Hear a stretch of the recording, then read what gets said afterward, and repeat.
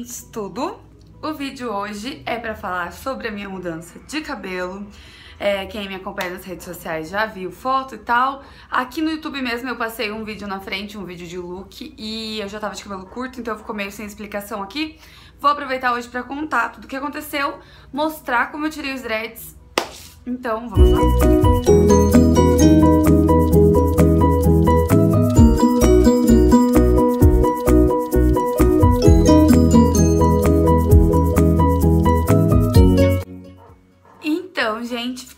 inclusive, porque eu liberei o vídeo, mas eu já tinha liberado dois dias antes foto do meu cabelo e tal. E comentei no Snap, postei no, no meu Facebook, postei na fanpage, postei no Instagram.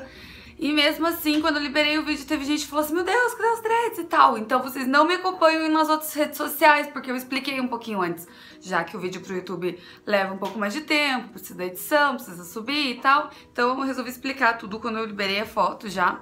Então quem ainda não me segue no Snap no Instagram é Fer Kuzma, eu vou deixar escrito aqui, me segue lá, que vocês têm as notícias em tempo real, sabe? Porque até subir pro YouTube eu que sou uma pessoa aflita, vocês acham que eu vou fazer um cabelo novo, sei lá, ou uma maquiagem, vou conseguir esconder até a hora de liberar o vídeo? Não! Então acaba aparecendo nesses vídeos assim antes, no Snap ou em foto no, no Instagram. Me segue lá pra saber de tudo em tempo real, então, hein? Então eu comentei, eu postei a foto e eu inclusive disse que eu sei que tem muita, muita gente que amava os dreads, mas ninguém amava eles mais do que eu. Então se eu tirei é porque eu tenho um motivo mesmo. E também fora isso, né, tem comentários que eu nunca faria para as pessoas, tipo assim, ai, meu Deus, por que você tirou os 10? Tipo, sua vida acabou agora, você tá horrorosa. Não, gente, sabe? Tipo, poxa, Poxa. É. Seguinte, então. Por que, que eu tirei os dreads? Já tinha alguns meses que eu estava reclamando muito, eu estava muito sacuda por um motivo. Como eu já expliquei pra vocês em outros vídeos, vocês já me acompanharam em vlog também, viram o trabalho que dava pra é, lavar, secar e tal. É, os, os meu, meu cabelo tá muito curto, tava mais curto ainda quando eu coloquei, né? E o meu cabelo é um pouco liso, digamos assim, né? Então, é, os dreads estavam escapando. E eu que fazia manutenção. Porque também se eu tivesse que pagar toda vez que eu fosse lavar o cabelo, que tava escapando alguns, né, de 40, 50 reais manutenção ia, né? E eu sabia fazer, só que dava trabalho. Então o que acontecia? Cada vez que eu ia lavar o cabelo, uma vez na semana, inclusive, né, como eu já comentei aqui, é, eu dava uma olhada, porque alguns já estavam meio frouxos e já tentava arrumar com agulhinha de crochê. Isso leva tempo e machuca o dedo e tal. Beleza. Então eu não podia decidir, eu quero lavar o cabelo agora e ir correndo, porque se eu molhasse ele ia ficar pesado, ia fazer cair tudo aqueles que já estavam meio solto. Depois eu ia ter que esperar secar bem o cabelo para poder prender, porque fazer manutenção quando o cabelo tá meio molhado, tentar colocar o dread de volta, o seu cabelo natural, até o cabelo do dread mesmo, do aplique, ele tá molhado, parece que ele tá, fica elástico. E você fica puxando, estourando e não consegue prender, fazer o que você faria com o cabelo seco. Então, é, não indico ficar mexendo, fazendo manutenção ou tentando prender dread em cabelo molhado. Melhor deixar tudo secar bem. Aí então o que eu fazia? Eu tentava arrumar antes de entrar no banho, dava aquela arrumada para evitar que caíssem muitos. Tomava banho, na hora que você molha fica pesado pra cacete. Só só o cuidado do dread já é mais complicado. No meu caso tava chato porque ficava caindo assim, então não é todo mundo que fica caindo assim, porque o meu tava curto mesmo. E aí, é, e eu conheço a menina, inclusive, que fazia manutenção em mim aqui, que eu fiz acho que duas vezes, sei lá. Ela também tem o cabelo curto e o dela também cai sempre, ela falou. Então não era problema que eu não sabia arrumar, por exemplo. É que era a situação ali. Então eu saía do banho e normalmente já caía alguns, pelo menos uns quatro, sem contar que daí eu tinha que fazer uma manutenção na cabeça toda e pegando, vendo algum que já tava mais frouxo. Poucos dreads estavam absurdamente presos, tanto que na hora de tirar poucos me deram trabalho, a maioria foi muito rápido. É, então eles ficavam caindo muito fácil, davam trabalho. Então eu nunca podia falar assim, ah, eu vou sair, então eu vou lavar o cabelo aqui, vou sair. Porque por mais que eu não ligasse sair com o cabelo úmido, o cabelo ia sair despedaçando, sabe? Tipo, eu ia ter que cuidar bem, eu não podia só prender e ir pra uma balada, sei lá, qualquer coisa assim. Ia acabar caindo tudo, eu ia perder os apliques ainda, entendeu? Então tinha que me programar, eu precisava de um dia pra fazer isso. Então, tipo, pô, o dia que eu tinha que limpar a casa, que gravar um vídeo que... Se eu tivesse cabelo molhado, Tipo, eu lavei o cabelo agora pra secar, agora durante a madrugada, amanhã cedo tá pronta pra eu acordar cedo, fazer uma make e gravar um vídeo pra vocês. Não, eu ia ter que ver o cabelo, o cabelo tá caindo, às vezes caiu um cabelo aqui da frente, tinha que secar bem, então pra poder prender de volta, pra poder gravar o vídeo. Então, tava empatando um pouco a vida, sabe? Tava dando muito trabalho. E eu acho engraçado, né? Porque é aquele negócio, todo mundo acha que dread é cabelo de porco, de preguiçoso.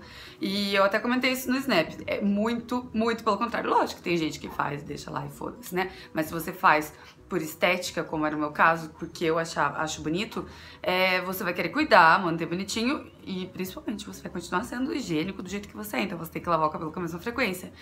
E eu não conseguia ficar mais tempo sem, sem lavar o cabelo. Então eu acho assim que o meu dread era mais limpo que o cabelo das meninas por aí, de muita menina por aí que faz tipo uma progressiva da vida ou chapinha, sabe? Aquelas que só faz no salão e daí fica esperando um tempão pra lavar, daí aquele cabelo ceboso assim.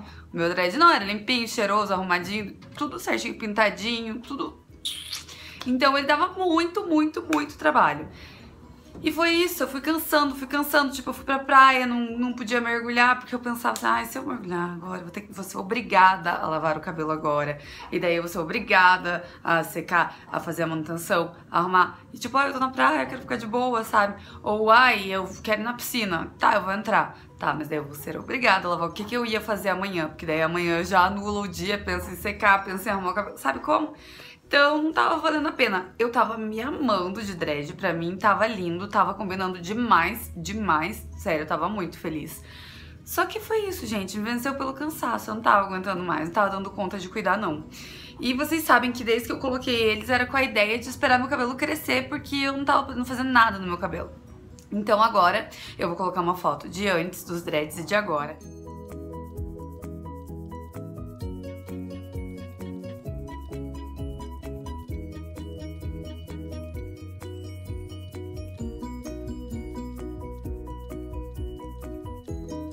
seis meses passaram. É, eu já falei, dread não é um tratamento capilar, né? Tipo assim, ah, pra ajudar a crescer. Mas ele acaba pesando. Só que do mesmo jeito, em seis meses meu cabelo teria crescido isso se eu tivesse sem os dreads, talvez até um pouco mais. É, antes de continuar falando, falando, falando, eu vou pôr pra vocês um vídeo agora é, de eu tirando alguns dreads pra vocês entenderem como é, mas eu já expliquei em outros vídeos aqui, porque eu já fiz isso antes. Dessa vez meu cabelo tava curto, da primeira tava comprido, então é, eu só cortei as partes que eu tinha certeza que era aplique e fui desmanchando desde a ponta. Por exemplo, é, agora eu conseguia sentir e desmanchar e tirar o aplique. Antes não, eu tive que cortar ou teria que desmanchar o cabelo desde a ponta pra evitar de cortar seu cabelo mesmo. Por exemplo, faz de conta que eu tô com o meu cabelo aqui e tem esse aqui, eu sei que é aplique. Tudo aqui eu sei que é aplique, mas tá muito bem preso com o meu cabelo. Então aqui deve ter cabelo meu misturado também. Então ao invés de eu cortar aqui onde eu sei que é aplique, eu pego e corto mais aqui embaixo. Ainda vai ter um tanto de aplique aqui que vai perder, mas aí você vai desmanchando desde a pontinha, entendeu? Quem tem cabelo comprido assim. E então agora eu vou pôr mostrando como é que eu desmanchei, vai. Estou tirando meus dreads. Nesse momento eu já tirei, vamos ver, 3, 4, 5, 6, 7, 8, 9, 10. 10 dreads. Tá? Todos inteiros, porque é, não embolou bem a emenda, né? Eu vou deixar a foto do meu cabelo antes e depois e tal. Ainda tá o processo, vou aparecer com o cabelo arrumado depois. Mas assim, meu cabelo tava bem curtinho, bem Joãozinho mesmo. E todo repicado. Então aqui ele era mais curto que aqui mesmo, tá? Então, eu tô cheia de creme aqui, mas eu vou continuar tirando e vou mostrar pra vocês. O que, que eu tô usando pra tirar? Um pentinho que tá todo ferrado.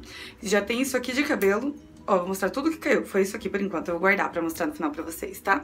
E eu tô usando esse creme porque que eu tinha em casa. Das outras vezes eu usei cremão baratão mesmo, aqueles potão de um real, sei lá, cinco reais. É, só tô usando esse porque é o que eu tinha aqui, bateu aquela loucura, eu queria fazer, queria fazer. Então eu já expliquei os motivos mais ou menos pra vocês, mas eu queria mostrar o processo. Eu vou pedir pra eu ler gravando, gravar eu tirando um deles. Mas é isso, o meu tava fácil porque meu cabelo tava curto, as emendas de, da maioria deles ainda apareciam, tanto que toda hora caía. Então tá sendo super fácil, super rápido. Ó, gente, como já falei pra vocês, as emendas do meu cabelo dá pra perceber onde é que o dread eu vou enfiando o dedo. Alguns caem muito fácil, mas pra todos funciona do mesmo jeito. Eu pego um pouco de creme, passo aqui onde tá emendado pra não ficar puxando, não ficar quebrando mais, né? Passando assim e eu pego o pente e vou puxando devagar, tentando quebrar o mínimo possível. É desembolar, só pentinho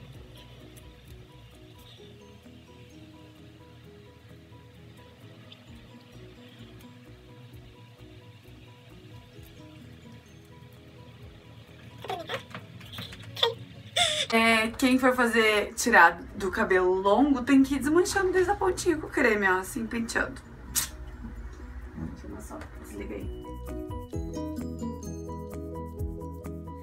Então vocês viram que realmente não tem mistério, que realmente não precisa cortar. Se o teu dread não leva cera, aquelas coisas assim que eu nem indico fazer desse jeito, não tem necessidade disso.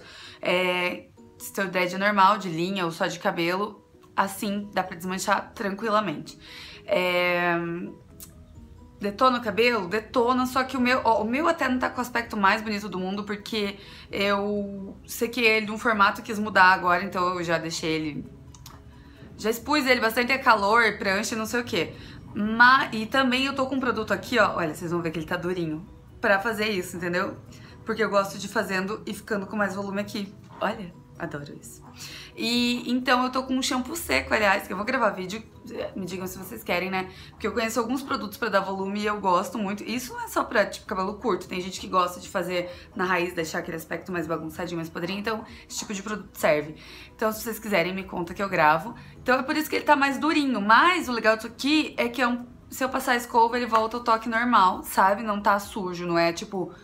Não é que um spray, um fixador vai sujar, mas é um outro produto que vai grudar ali. Isso aqui não é, então eu achei bem bom. Mas enfim, ele não tá com o aspecto do logo que eu tirei, mas eu achei que tava absurdamente bom o cabelo na hora que eu tirei, sabe? Brilhoso. Eu não sei se é pela cor dele, sabe? Ou se porque realmente foi fácil de... não tava muito bem embolado o aplique no cabelo, então não chegou a detonar muito, mas foi muito fácil de tirar. Caiu o cabelo. Da primeira vez foi muito pior, né? Porque o cabelo era muito mais comprido, mas caiu isso aqui. Tá meio molhado, meio embolado. Eu guardei tudo pra mostrar pra vocês, guardei. Tá meio molhado, então tá cheio de creme, né? Ele tá parecendo pouco. Mas é, dá pra saber se era do aplique ou do meu cabelo? Não dá pra saber. O que eu sei é que é o seguinte, a gente perde muito cabelo no dia a dia, né?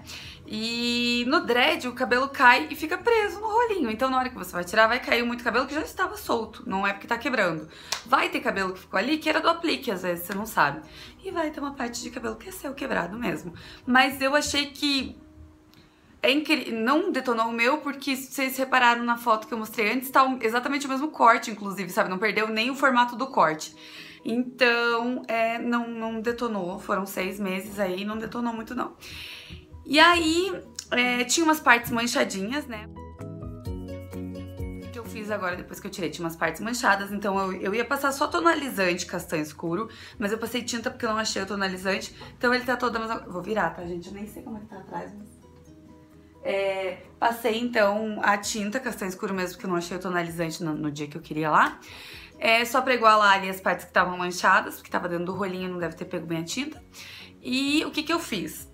Vou pôr um vídeo agora, eu no salão, vou explicar pra vocês. Teve gente que falou, não corta, deixa assim, tá legal, desigual o tamanho, mas ele continua desigual. Eu vou mostrar o que, aconteceu, tá? Vejam aí, eu no salão é, já. Tá. tá vendo, né? Aham, uhum. não, beleza. E aqui dá pra eu fazer só aqui, conserto, uhum. né? Dar uma ajeitadinha aqui. E não mexer nada do resto, uhum. a gente faz tudo, porque o teu objetivo é crescer. É. Então não tem por que eu tirar as pontas é, do né? resto, até porque esse